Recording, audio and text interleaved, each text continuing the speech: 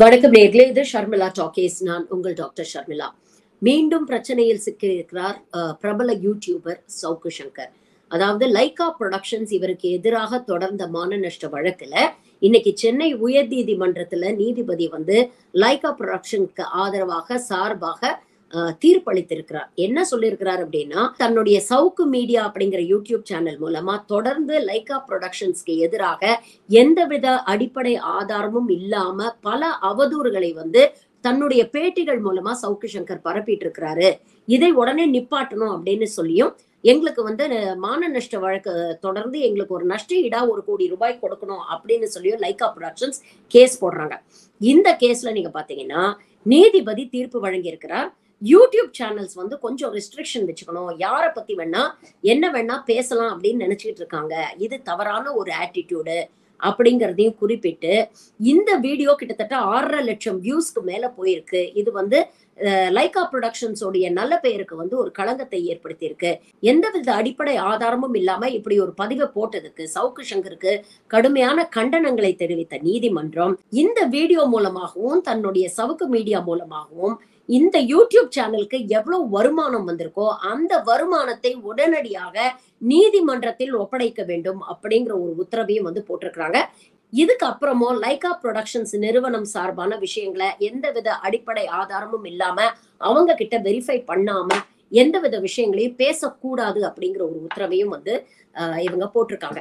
ஆரம்ப காலகட்டங்களில் நீங்க பாத்தீங்கன்னா பாஜகவை எதிர்த்தும் அதிமுகவை எதிர்த்தும் கடுமையான விமர்சனங்களை வந்து தன்னுடைய ட்விட்டர் வலைதளத்துல வந்து இவர் பதிவு பண்ணிட்டு இருந்தாரு. ஆஹ், ஒரு விமர்சனம் அப்படிங்கறத தாண்டி ஒரு தனி மனித தாக்குதல் ஒரு தனி மனித இழிவுபடுத்துறது அவமானப்படுத்துறது அப்படிங்கிற விஷயங்களை வந்து நிறைய இவரோட போஸ்ட்ல வந்து நம்ம பார்க்க முடியும். இன்ஃபேக்ட் நீங்க பாத்தீங்கன்னா ஆஹ், அண்ணாமலையை வந்து ஆட்டுக்குட்டி அப்படின்னு இன்னைக்கு எல்லாரும் வந்து ஆஹ், கிண்டல் பண்றாங்கன்னா அதற்கு காரணமே இவர்தான். ஏன்னா இந்த மாதிரி நிறைய பேர் வைக்கிறது அண்ணாமலையை வந்து ஆட்டுக்குட்டிங்கிறது அமர் பிரசாத் ரெட்டியை வந்து உம், மலமாடுன்னு கூப்பிடுறது இது போன்ற நிறைய தனி மனித தாக்குதல்ல தொடர்ந்து ஈடுபட்டிருக்கிறாரு. இன்னைக்கு எடப்பாடி பழனிசாமி அவர்களுக்கு ஆதரவா பேசக்கூடிய இதே சவுக்கு சங்கர் அவரை தனி மனித தாக்குதல் நடத்தி இழிவுபடுத்தி போட்ட பல போஸ்ட வந்து இன்னமும் வந்து சோசியல் மீடியால நம்மளால பார்க்க முடியுது. சோ இப்படிப்பட்ட ஒரு சூழலில் தான் யூடியூப் அப்படிங்கிற ஒரு பிளாட்ஃபார்ம் வந்து ரொம்ப பிரபலமாக தொடங்கும் பொழுது அதில் பல இன்டர்வியூஸ் இவர் வந்து தன்னை ஒரு சோசியல் மீடியா ஒரு இன்ஃப்ளூயன்சரா தன்னை ஒரு அரசியல் விமர்சகர் என்று அடையாளப்படுத்தி கொண்டு தொடர்ந்து நிறைய இன்டர்வியூஸ் கொடுக்க ஆரம்பிக்கிறாரு. ரொம்ப அழகா பேசக்கூடியவர். ஆஹ் ஏதோ பக்கத்திலேயே இருந்து நிகழ்வுகளை கண்ணால பார்த்த மாதிரி உம் சில சொல்லுவாங்கல்ல நல்ல கதை சொல்றதுக்கும் நல்லா கதை சொல்றதுக்கும் நிறைய டிஃப்ரென்ஸ் இருக்குன்னு. இவர் எப்படின்னா நல்ல கதைய நல்லா சொல்லக்கூடிய ஒரு திறமை வாய்ந்த ஒரு சோசியல் மீடியா இன்ஃப்ளூயன்சர் அப்படின்னு சொல்லலாம். இவருடைய அந்த ஸ்டைல் ஆஃப் ஸ்பீக்கிங்க்கும் இவருடைய அந்த கருத்துக்களுக்கும் ஒரு சென்சேஷனலைஸ் பண்ணி கொடுக்கக்கூடிய இன்டர்வியூஸ்க்கும் வந்து நிறைய ஃபாலோவர்ஸ் இருக்காங்க. நிறைய பேர் அரசியல் புரிதல் இல்லாதவர்கள் அரசியல் வரலாறு தெரியாதவர்கள் ஈஸியா வந்து இவரை பார்க்கும் பொழுது இவர் வந்து ஒரு ஒரு சோசியல் மீடியா இன்ஃப்ளூயன்சர் ஒரு பெரிய ரெவல்யூஷனரி ஒரு பெரிய ரிஃபார்மர் பாருங்க. ஆதிக்க சக்திகளை நோக்கி இவர்கள் கேள்விகள் எழுப்புகிறார்கள். எந்த அளவுக்கு நேர்மையானவரா இருந்தா எந்தவித பயமும் இல்லாம தன்னோட சமூக வலைதளங்கள்லயும் சரி யூடியூப் சேனல்லையும் அப்படிதான் போட்டிருக்கிறாரு. The question authority without fear or favours அப்படின்னு போட்டிருக்கிறாரு.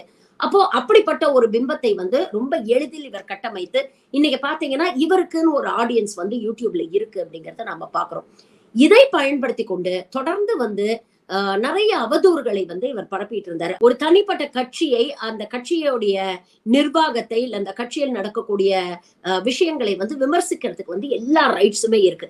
ஆனா ஒரு கட்சியை சார்ந்த விமர்சனம் ஒரு அரசாங்கத்தை சார்ந்த விமர்சனம் அப்படிங்கறத தாண்டி இவருடைய விமர்சனங்கள்லாம் பாத்தீங்கன்னா ரொம்ப பர்சனல் லெவல்ல ரொம்ப அவங்களுடைய பர்சனல் விஷயங்களை அட்டாக் பண்றது அவங்கள கேரக்டர் அசாசினேட் பண்றது இப்படிதான் இவருடைய விமர்சனம் இருந்தது அப்படிங்கிறத பல தருணங்கள் நம்ம பார்க்க முடிஞ்சது. இவருடைய சோல் டார்கெட் அப்படின்னு யாருன்னு பாத்தீங்கன்னா விளையாட்டுத்துறை அமைச்சர் உதயநிதி. தொடர்ந்து உதயநிதியை டார்கெட் பண்ணக்கூடிய ஒரு விஷயத்த வந்து தன்னுடைய முழு நேர வேலையா வந்து இவர் செஞ்சிட்டு இருக்காரு பல விஷயங்கள்ல இப்ப இந்த லைக்கா விஷயத்திலயும் பாத்தீங்கன்னா தொடர்ந்து கோர்ட்ல போய் எங்க மேல இந்த மாதிரி அவதூறுகளை பரப்புறாரு அப்படிங்கிற ஒரு விஷயத்த சொன்னோன்னு கூட அவர் தரப்புல இருந்து எந்த விளக்கமும் கொடுக்கப்படவில்லை. ஜட்ஜு தன்னுடைய தீர்ப்புல வந்து முக்கியமான விஷயங்களை வந்து குறிப்பிட்டிருக்காரு. நம்பர் ஒன் அவர் என்ன சொல்றாரு? பல யூடியூபர்ஸ் வந்து சென்சேஷனலிசமுக்காக கிட்டத்தட்ட ஒரு மஞ்சள் பத்திரிகை நடத்துற மாதிரி எந்தவித ஆதாரமும் இல்லாம சமுதாயத்துல ஒரு ஸ்டேட்டஸ்ல இருக்கக்கூடிய தனி நபராக இருக்கட்டும் நிறுவனமாக இருக்கட்டும் அவர்களை நோக்கி இந்த மாதிரி அவதூறுகளை பொய் செய்திகளை பரப்புவதை ஒரு வாடிக்கையாக வைத்திருக்கிறார்கள்.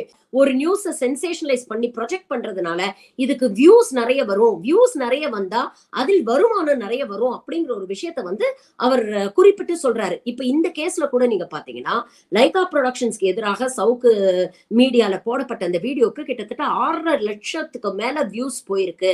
அதனால வந்து நிறைய பேர்கிட்ட தங்களுக்கு ஒரு கெட்ட பேரை வந்து ஏற்படுத்த இவர் முயற்சி பண்ணியிருக்கிறாரு. இதை திட்டமிட்டே செஞ்சிருக்கிறாரு அப்படிங்கிற ஒரு விஷயத்த அவங்க பதிவு பண்ணியிருக்காங்க. அப்ப அதை மென்ஷன் பண்ணி அவர் என்ன சொல்றாரு?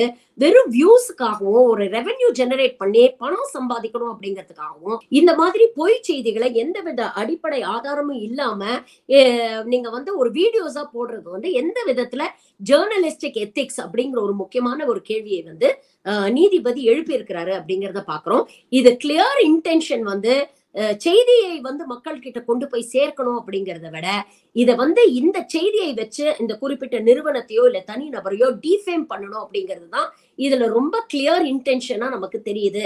அப்படிங்கிறத குறிப்பிட்டு தான் இந்த வீடியோ மூலமா வந்த வருமானத்தையும் சவுக்கு மீடியா மூலமாக வந்த வருமானத்தையும் கோர்ட்ல டெபாசிட் பண்ணணும் அப்படிங்கிற ஒரு தீர்ப்பை வந்து இது கொடுத்திருக்கிறாரு.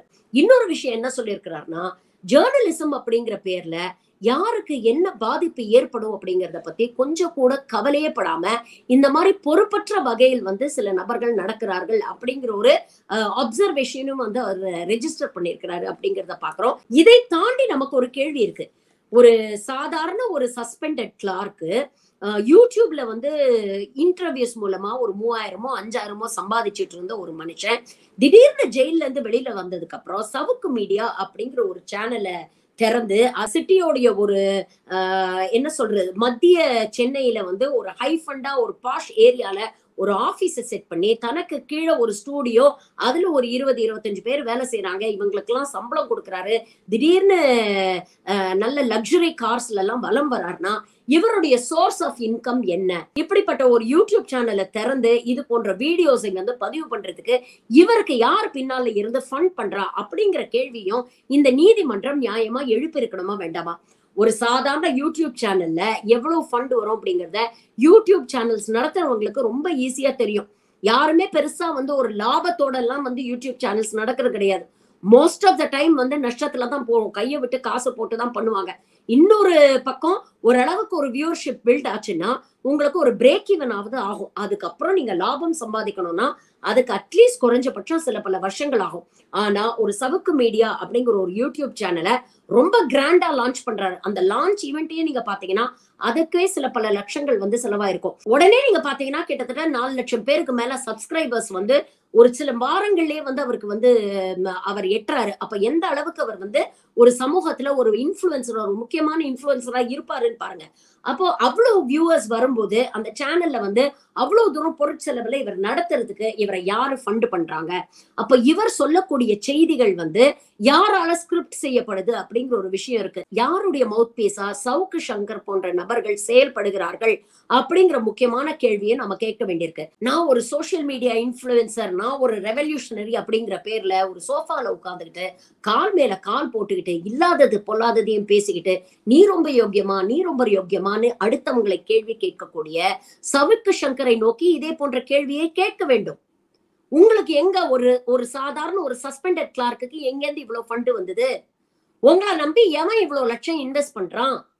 அப்ப உங்களை நம்பி இவ்வளவு லட்சம் ஒருத்தன் இன்வெஸ்ட் பண்றான்னா அவனுக்கு இது மூலமாக என்ன லாபம் கிடைக்கிறது? அப்ப என்ன அஜெண்டாவை நீங்க ப்ராபகேட் பண்றீங்க? யாருக்காக நீங்க செயல்படுறீங்க? அப்படிங்கிற கேள்வியை தொடர்ந்து நம்ம கேட்க வேண்டியிருக்கு. இன்னைக்கு மக்கள் எதுக்கு யூடியூப் பக்கம் வராங்க இல்ல சோஷியல் மீடியா பக்கம் வராங்க பல செய்தி நிறுவனங்களும் மெயின் ஸ்ட்ரீம் மீடியா எல்லாமே பாத்தீங்கன்னா ஏதாவது ஒரு கார்ப்பரேட் கையிலயோ இல்ல ஏதாவது கட்சி கையிலயோ தான் இருக்கு. சோ அதில் வரக்கூடிய செய்திகள் பயஸ்டா தான் இருக்கும். அவர்களுக்கு ஆதரவாக இருக்கக்கூடிய செய்திகளை உங்களுக்கு போடுவாங்க. அவர்களுக்கு எதிராக இருக்கக்கூடிய செய்திகள் வரவே வராது மெயின் ஸ்ட்ரீம் மீடியால அப்படி இருக்கும் பொழுது நிறைய ஜேர்னலிஸ்ட் வந்து மெயின் ஸ்ட்ரீம் மீடியால அவங்களால சுதந்திரமா செயல்பட முடியல அப்படின்னா தான் அங்கேருந்து வெளியில வந்து யூடியூப்ல அவங்களுக்குன்னு ஒரு சேனல்ஸ் ஆரம்பிச்சு செய்தியை நடுநிலையாக எல்லா விஷயத்தையும் கொண்டு போய் மக்கள்கிட்ட சேர்க்கணும் அப்படிங்கிற முயற்சியில பெரும்பாலான ஜேர்னலிஸ்ட் ஒரு ஆனஸ்ட் ஜேர்னலிசம் பண்ணிட்டு இருக்காங்க. பெரும்பாலான. எல்லாரையும் நான் சொல்லல. ஆனா இப்போ இந்த சோசியல் மீடியாவை வந்து எந்த அளவுக்கு வந்து அஹ், பாஜக போன்ற ரைட் விங் வந்து எந்த அளவுக்கு பூந்து இந்த சோசியல் மீடியாவை கெடுத்து குடிச்சவராக்கி வச்சிருக்கிறாங்க அப்படிங்கிறது நமக்கு வந்து அஹ், நிதர்சனமா தெரியுது. இந்த கடந்த இந்த ஐந்து ஆண்டுகள்ல மட்டுமே. இன்னைக்கு யூடியூப் சேனல்ஸையும் இந்த பொலிட்டிக்கல் பார்ட்டிஸ் அவங்களோட கையில போட்டுக்கிட்டா அவங்களுக்கு வேண்டிய அஜெண்டாவை ப்ரமோட் பண்றதுக்கான ஒரு பிளாட்ஃபார்மா யூஸ் பண்ண ஆரம்பிச்சிட்டாங்க. அண்ட் மெயின் ஸ்ட்ரீம் மீடியாவோட யூடியூப் சேனல்ஸ் போன்ற மீடியாக்களுடைய தாக்கம் இன்னும் அதிகமா இருக்கு. என்ன ஒவ்வொரு தனிப்பட்ட நபர்கிட்டயும் அந்த செய்தியை கொண்டு போய் அவங்களுடைய செல்போன் மூலமா சேர்த்துருது ஆனா அரசியல் வரலாறு தெரியாத இன்னைக்கு ரொம்ப இம்ப்ரெஷனபிள் யங் ஜெனரேஷன் இருக்கு இல்லையா? யாராவது ஒருத்தர் ரொம்ப வீராவேசமா பேசுறாங்க அதிகாரத்துக்கு எதிராக வந்து கேள்வி கேட்கறாங்க அப்படின்னா உடனே அவங்கள ஒரு ஹீமேன் சூப்பர்மேன் மாதிரி அவங்கள ஒரு குளோரிஃபை பண்ணக்கூடிய ஒரு ஆட்டிடியூட் வந்து இன்னைக்கு சமூக வலைதளங்கள்ல இந்த யங்கர் ஜெனரேஷன் நெக்ஸ்ட் ஜெனரேஷன்ல நம்ம பார்க்க முடியுது. அது அண்ணாமலை போன்ற அரசியல்வாதிகளா இருந்தாலும் சரி சவுக்கு சங்கர் போன்ற சோஷியல் மீடியா இன்ஃபுளுசஸா இருந்தாலும் சரி ஏதோ ஒரு ரியல் லைஃப் ஹீரோ மாதிரி அவங்கள போர்ட்ரே பண்றாங்க. அப்போ இவர் ஒரு ரிப்பீட் அஃபெண்டர் அப்படிங்கிறத புரிஞ்சுக்கோங்க. இதைத்தான் செய்வேன். ஏன்னா இதை செய்யறதுக்கு தான் எனக்கு வந்து காசு கொடுக்குறாங்க. இதை செஞ்சு இன்னொரு பக்கம் நான் கல்லாவும் கட்டுறேன். அப்ப இது போன்ற சோஷியல் மீடியா இன்ஃபுளுசர்ஸ் ஒரு அஜெண்டாவோட ஒர்க் பண்ணக்கூடிய சோஷியல் மீடியா இன்ஃபுளுசர்ஸ்க்கு நீங்கெல்லாம் வந்து ஃபயர் விட்டுட்டு இருக்கிறீங்க. நீங்கெல்லாம் வந்து ஆதரவு தெரிவிச்சிட்டு இருக்கீங்கன்னா நாடு எதை நோக்கி போய் கொண்டிருக்கிறது அப்படிங்கறத பாருங்க. இது போன்ற ஆட்களை வளர்த்து விடுறது யூடியூப் வியூவர்ஸ் தானே? நீங்க கொடுக்குற வியூஸ் அவர் ஒரு பேட்டியில ரொம்ப அரகண்டா ஒரு விஷயத்த வந்து சொல்வாரு. நான் தான் பேசுவேன். ஆமா நான் அப்படிதான் சொல்லுவேன். உங்களை யார் பார்க்க சொன்னா? உங்களை யார் நம்ப சொன்னா? நியாயமான கேள்வி தானே ஏமாத்திரமா ஏமாத்திட்டு தானே இருப்பான்? அப்ப ஏமாறுறவங்க தானே கொஞ்சம் யோசிச்சு பார்க்கணும். நான் எந்த கட்சிக்கோ ஆதரவாக பேசல எந்த ஒரு தனி நபருக்கும் ஆதரவாக நான் பேசல. ஒரு செய்தி வந்தா அந்த செய்தியில எந்த அளவுக்கு உண்மை இருக்கு? இந்த செய்தியை உங்களிடம் கொண்டு வந்து சேர்ப்பவர் பின்னால ஏதாவது அஜெண்டா இருக்கா? இவர் யாருடைய மவுத் பீஸா செயல்படுறாரு அப்படிங்கறத கொஞ்சம் யோசிச்சு பாருங்க. அது யாரா இருந்தாலும் சரி நான் உட்பட.